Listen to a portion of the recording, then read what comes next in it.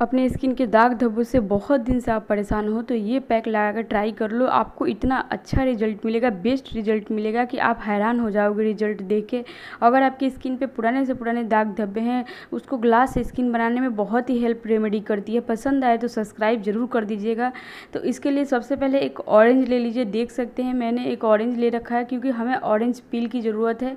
आप चाहे तो उसको घिस के डाल ताज़ा भी डाल सकते हैं। मैंने उसके बाद एक टमाटो लेके हाफ़ कट कर लिया। देख सकते हैं, टमाटो को जितना भी रस है इसमें मैंने एक बॉल में निकाल देना है क्योंकि इसका हमको टमाटो जो है फेंकना नहीं है क्योंकि ज़रूरत पड़ने वाला है आगे।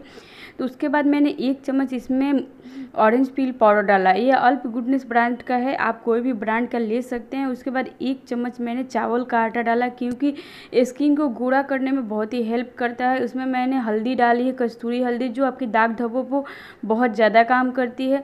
उसके बाद मैंने एक चम्मच इसमें देख सकते हैं संतरे का जूस डाला, एकदम फ्रेश जूस डाला। उसके बाद मैंने आधा चम्मच लेमन जूस डाला।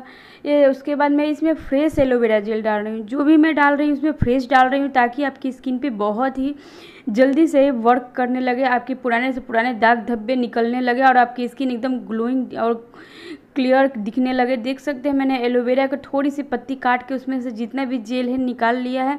आप चाहे तो प्लांट बेस्ड नहीं है तो आप मार्केट वाला भी डाल सकते हैं। उसके बाद मैंने पेस्ट तैयार करके सबसे पहले फेस को क्लीन करना है।